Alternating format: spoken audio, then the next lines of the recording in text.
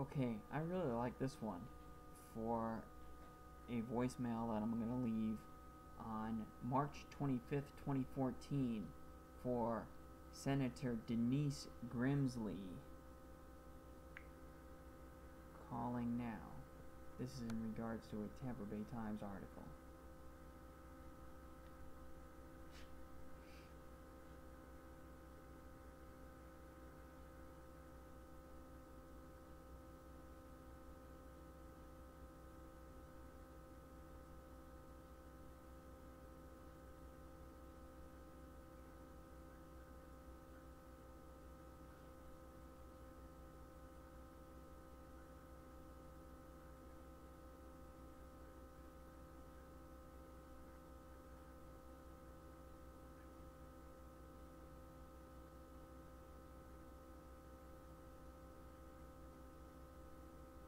Hi, this message is for Senator Grimsley.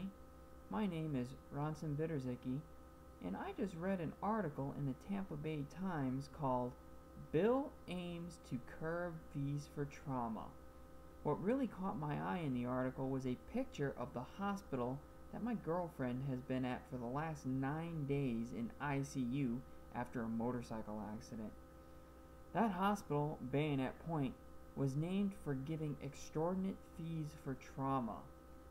I was pleased to hear that your conclusion of these fees to be outrageous.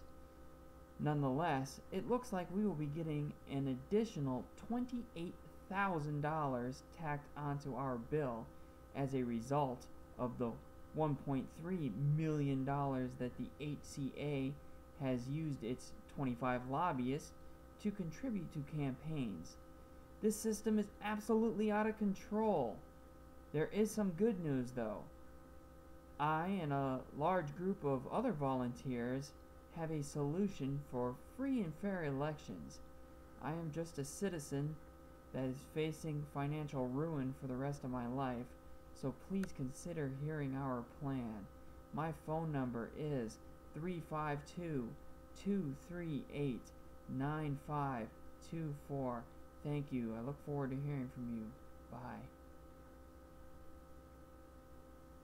Okay. Hopefully, I made a powerful impact on that one. Uh, it definitely my my best voicemail of of uh, from the ones on this article. Wish me luck.